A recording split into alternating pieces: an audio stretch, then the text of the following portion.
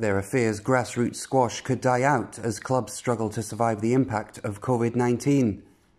While the professional side of the game has remained largely intact, with the 2021 calendar already up and running, hundreds of clubs are at risk of going out of business after having to shut their doors for much of 2020.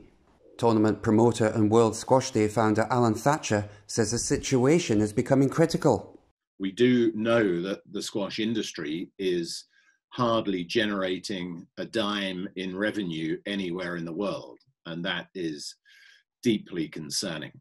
Mr. Thatcher has been spearheading efforts to save grassroots squash by creating a new type of club with outdoor courts that aim to shake off the game's stuffy image. We want squash to be more visible, we want it to be affordable, we want it to be accessible. The whole ethos is about driving down the building costs that means driving down the startup costs because really we want to encourage a new wave of club owners who can see a future in squash and they can then pass on those savings to a new generation of players.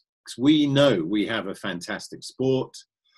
What we need to work harder is on selling and marketing all those magnificent positive images that we know squash can deliver.